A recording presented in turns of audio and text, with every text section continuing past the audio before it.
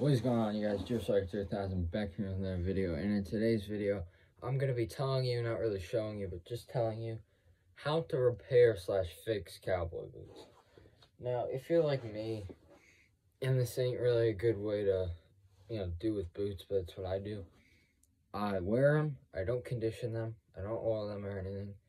I just wear them to hell until they're ripped or like like these boots, they're like beat up really badly. Like there's a lot of wear marks, and with this boot especially, that's tearing. Right in there with the Cody James Patriotic boots right there is tearing. And if you're wondering how to fix stuff like that, and with the how how to fix basically all the cracks in your boots and everything. And the best thing for that, and it says it right in the name, Shoe Goo.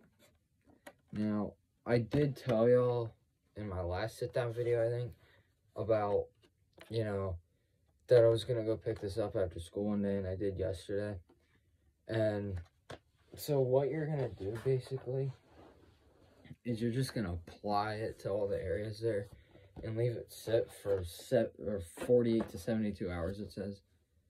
So yeah that's basically you know how to repair your your cowboy boots and i'm trying to make these videos a little you know short and sweet for y'all but it is starting to tear a little bit right there. You can't really see.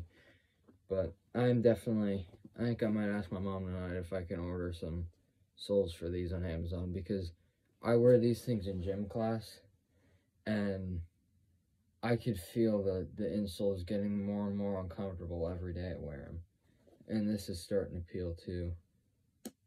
But they're rubber, so. And with like the leather boots, I haven't wore these in a while, but you don't really get that because you just get like hole like patch holes in them. So, yeah, that's all for today's video. I will do an update video, depending if I go hunting this weekend or not because I think we're going up to the mountains to go squirrel hunting. Maybe I don't really know. I don't, I don't really plan on it. But if we do, I'm gonna wear these then. But if I don't, I'm going to make a video on shoe going these and show you the after results basically. So that was the before. So yeah, I'll shut my mouth up and I'll let y'all on your way. Peace.